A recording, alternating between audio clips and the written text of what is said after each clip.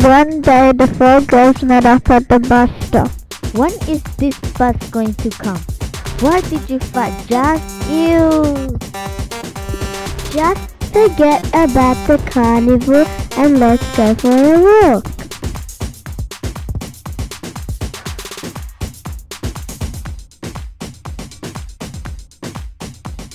Then it was night time. In the room for the people. Come over here. I found some pets that we can use for our pet store.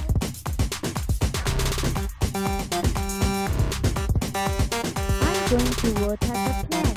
Then Fatima found some plants and planted it in the soil.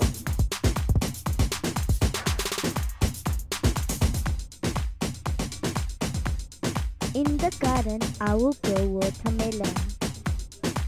And I would like to add a place where we wash the animals. In the hotel, I will set up the room for the people.